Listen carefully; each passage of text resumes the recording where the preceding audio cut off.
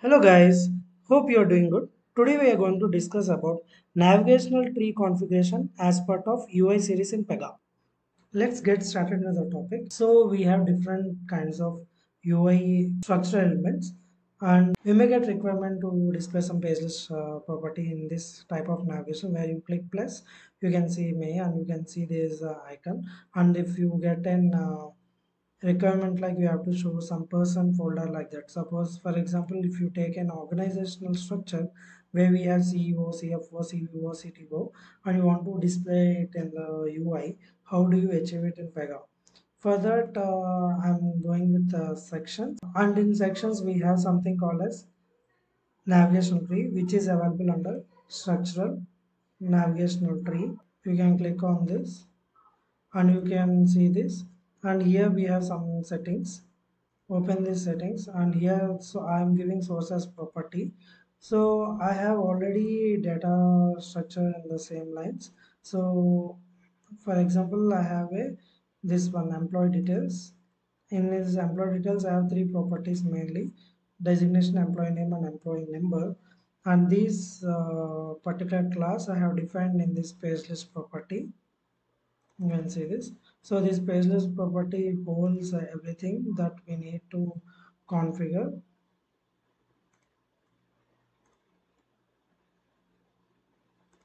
This is also one navigational tree concept only. So our employee details you can see designation employee name and employee number. Now i have gone to my section and i'm giving that uh, list property. And if you want to give some summary for your tree structure you can give this. And if you want to load uh, some data before uh, displaying it. Suppose now i'm showing editable navigation tree. Suppose you got a requirement like a read only navigation tree so you would be required to load some data to your pages property. So for that you can use this default load uh, activity. And these are visibility conditions like when this uh, particular tree should be visible. Suppose if this pages property doesn't have any data then you don't want to display. You can give some with some conditions this is visibility uh, row visibility and this is a row refresh. And these are like uh, other concepts like pagination suppose if you have no number of records on your page list you can use this. And now for our context i'm going for operations inline. And here inline mode is click row to edit.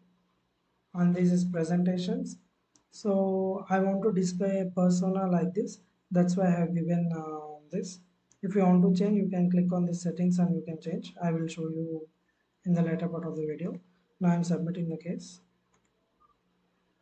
Now after this configuration i'm going here. I'm giving this uh, value. This is label name for this particular property. So this particular uh, employee name is uh, auto populated from this employee details page list because the navigation tree sources that page list. So i'm giving this employee name. Click submit. And here i am dragging one uh, data capture text input over here. After that i'm going to create a case.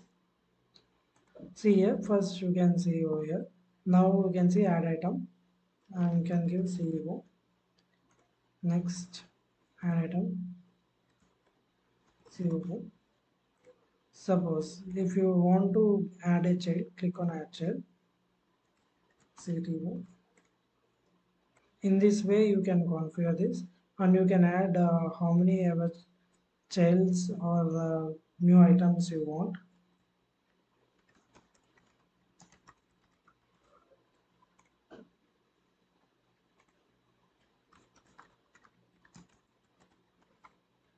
and you can click on this minus symbol.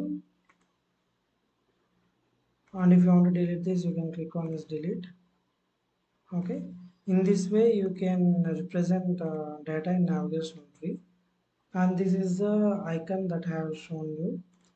Uh, now if you want to change that go to navigation tree presentation settings. Suppose uh, this is personal right? Now if I give some person if you want to use this one example give this click ok. Give quotations. Save. Now i'm creating a new case. You can see icon is changed. So in this way you can configure a navigation tree try with non-editable navigation tree by loading uh, data before launch of our section and post your comments on this video.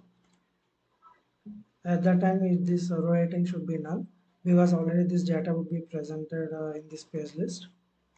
This is the tip i can give you. Hope you have understood a new concept in ui series. Thanks for watching. Thanks for watching this video. Please subscribe to my channel and share like comment my videos